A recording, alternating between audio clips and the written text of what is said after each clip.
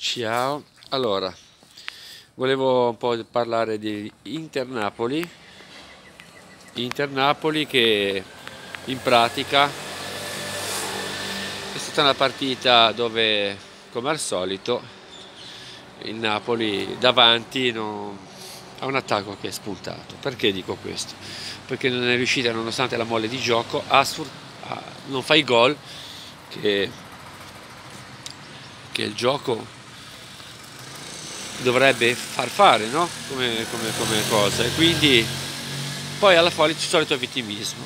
Prima fate gol e poi non mugugnate ok? Perché sennò polpette come vi dite voi non ne arrivano.